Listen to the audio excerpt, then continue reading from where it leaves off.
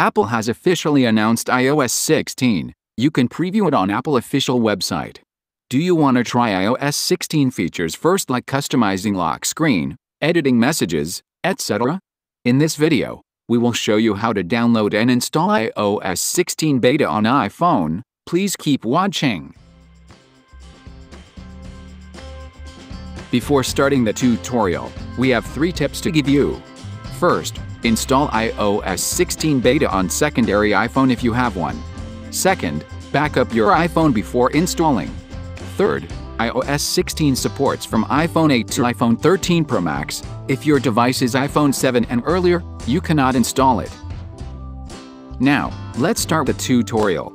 Open Safari on your iPhone and launch the betaprofiles.com website. Find iOS 16 download and tap on Install Profile. Then, confirm it and tap on Allow.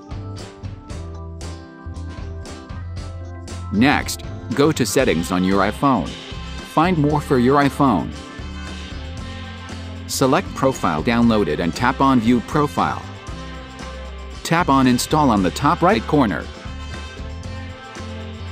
Enter your screen passcode to confirm.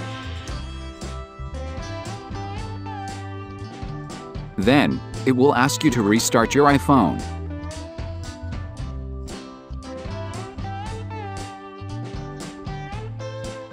Go to Settings again. Tap on iOS 16 Developer Beta. Tap on Download and Install.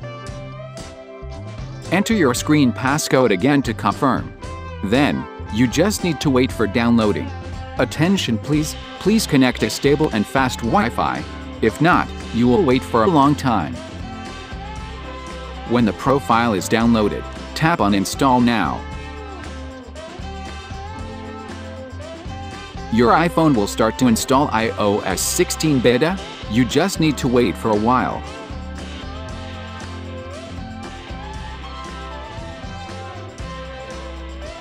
Finally, it will show software update complete. You just need to complete the setup and done.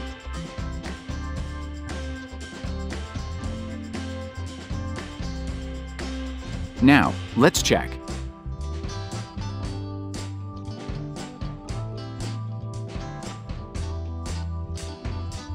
Look, it's iOS 16, then you can enjoy its new features. That's all. Thanks for watching. Please don't forget to subscribe to our channel to get more tips.